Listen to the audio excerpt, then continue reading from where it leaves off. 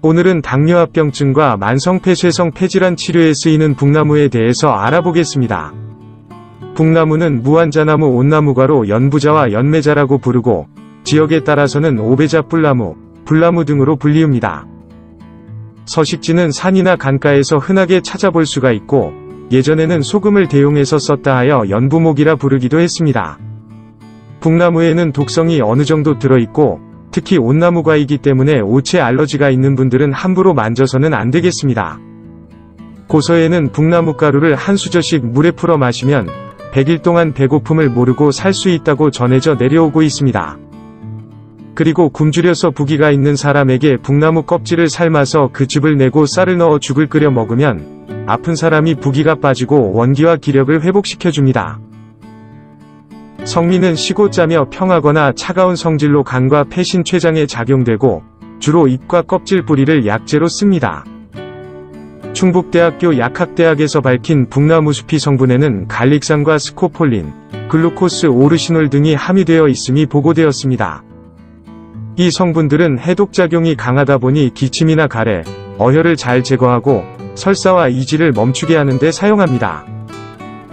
또한 살균하는 효능도 탁월해서 A형 독감 바이러스에 대한 면역력을 강화시키며 겨울철 발병률이 높은 감기와 폐렴 폐결핵 등의 만성기관지 질환을 치료할 때 쓰입니다. 특히 바이러스에 대한 사멸작용이 우수해서 유해한 황색포도 상구균과 폐렴구균, 장티푸스균, 녹농감균 등의 7종의 유해균을 억제하는 것으로 나타나기도 했습니다. 그리고 염증 제거와 항암작용이 매우 우수해서 후두부절종과 말기분문암, 식도암 궤양성결장염, 방사성직장염 자궁경관염 등의 임상시험에서 유효성을 보이기도 했습니다. 특히 후두부절종 임상보고에서 18명을 치료해서 모두 391을 경과하여 모두 완치가 되었습니다. 북나무는 당뇨 글루코스 저해 활성을 평가한 결과에서 지방세포 분화 증가율과 각종 지표에서 136%를 나타내었습니다.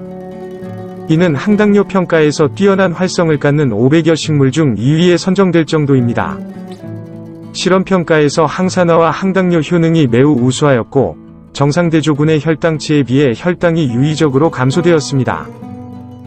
또한 형청중의 함량이 50mg 투여군에서 유의적으로 감소하였고 단백질 요소를 활성화시키며 우리 몸의 필요 이상의 당이 생성되는 것을 조절하게 됩니다. 따라서 북나무는 항산화 및 항당뇨와 당뇨합병증을 예방하는 데 유용할 것이라 사료되었으며 이는 심혈관 질환과 망막 질환으로 인한 실명을 막아주며 신부전 투석 및 말초동맥으로 인한 하지절단 등을 막을 수가 있습니다. 그리고 현재 당뇨 치료제인 아카보즈보다 항산화 및 항당뇨 활성이 매우 우수한 것으로 평가하기도 했습니다. 당뇨병은 고혈당이 만성으로 지속되면서 당질대사뿐만 아니라 지질과 단백질 대사장에도 함께 일으켜 망막과 신장, 신경심혈관계 등에서의 합병증을 유발시키게 됩니다. 또한 환자에게 고통과 함께 수명 단축에 치명적인 문제를 초래하게 되니 미연의 예방 및 관리가 매우 중요하겠습니다. 당뇨에는 북나무 나무 껍질을 말려서 1회에 20g의 물 1리터에 넣고 달여 마시면 됩니다. 또는 잎을 가루로 빻아서 복용하면 되고 열매는 가을에 채취해서 햇볕에 건조시켜서 쓰면 됩니다. 다음 만성폐쇄 성폐질환에 관한 실험 내용으로 북나무잎과 오배자 뿌리 추출물에서 강력하고 높은 항균 활성작용이 있었습니다. 특히 오배자 추출물은 폐포에서 대식세포와 림프구의 수를 감소시키고 폐질환에 의해 증가한 사이토카인의 양을 현저하게 낮추는 것으로 나타났습니다. 또한 오배자를 투여한 실험군은 3주 동안 담배연기 노출군과 비교해서 상대적 발현량이 유의적으로 감소하는 것을 확인하였습니다. 그리고 폐에서 확장된 폐포와 염증세포를 감소시키기도 했습니다.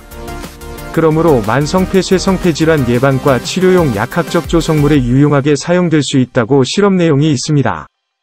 결과적으로 5배 자 추출물은 급격히 확장된 폐포 크기를 담배연기 노출군을 통해 의미있게 감소시키므로 만성폐쇄성 폐질환 치료 및 예방에 유용하게 사용될 수가 있습니다.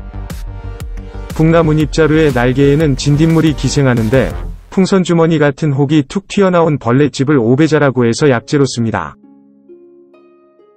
보통 북나무는 말린 약재 1회에 4-6g씩 200cc 물로 달이거나 가루로 빻아서 복용하고 몸과 종기에는 약재를 가루로 개어서 기름에 개어 환부에 바르면 됩니다. 잎은 봄부터 여름 사이에 채취해 햇볕에 말려서 사용하고 기침 천식 가래에는 말린 것 15g에 물 1리터에 넣고 달여서 마시면 됩니다.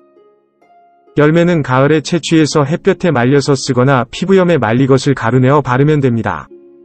북나무 껍질은 삶은 즙을 빚어 청금주라는 술을 만들어서 먹으면 양기를 보충하여 정력 증강과 원기 회복을 상승시키고 몸을 보호하는 데 큰 도움을 줍니다.